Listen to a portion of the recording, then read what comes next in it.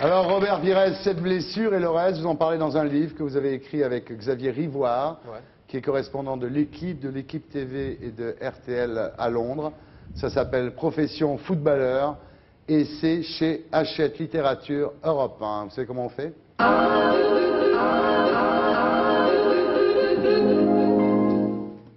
Cette blessure a donné lieu à une, une polémique. Fallait-il opérer ou non?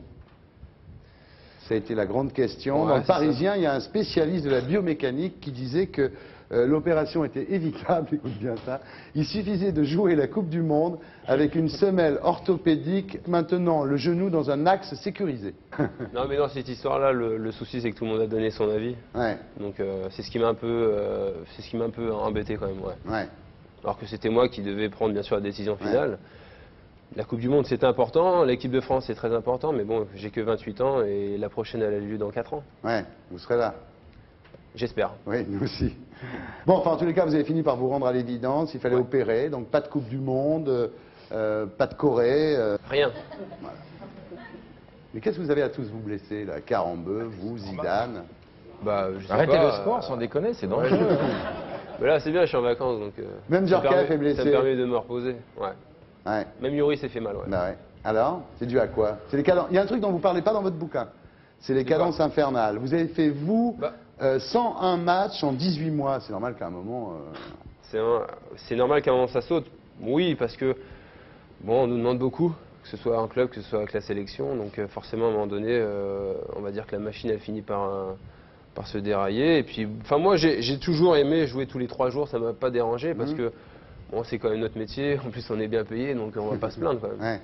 Qu'est-ce qui se passe en Corée, là, en ce moment? Qu'est-ce qui Est-ce se que passe en Corée, Non, qu'est-ce qui se passe? Est-ce que c'est la, passe? la, la pression, la pression médiatique, la pression Ben, je pense que- publicitaire euh, Ton Je pense qu'on en a un peu trop fait par rapport à notre titre de champion du monde Ouais. et champion d'Europe. Euh, à un moment donné, il faut nous laisser tranquilles. C'est soit des sous-merdes, soit des surhommes. ouais. C'est ni l'un ni l'autre. Ouais. C'est des grands joueurs. Ah, mais là, si on n'est pas, mais voilà. si on n'est pas champion du monde, euh, je vous, je vous dis pas ce qu'on va, ce qu'on va prendre. Ça, c'est, même pas la peine, quoi.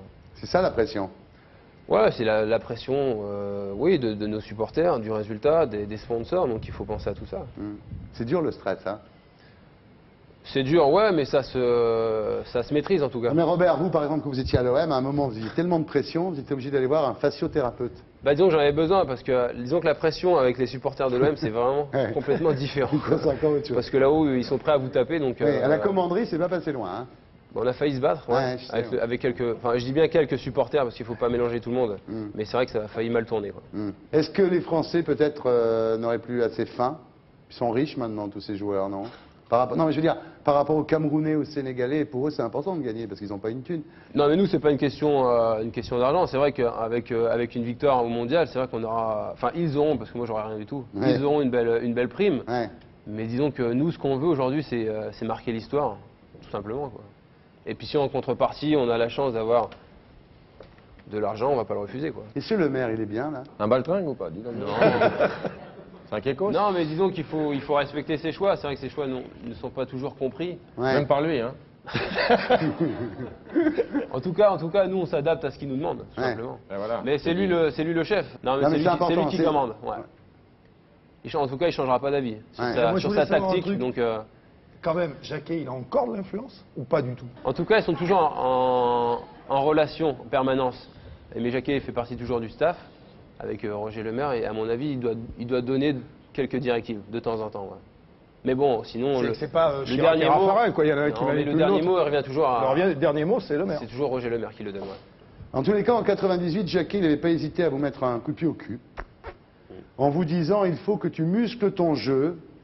Il n'a pas hésité à être dur avec vous. Hein.